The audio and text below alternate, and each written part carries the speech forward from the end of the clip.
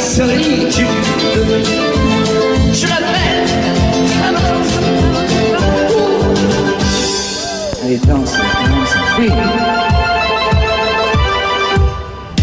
Elle est dans mon sommeil comme une fleur, un solide sans soleil et son chat.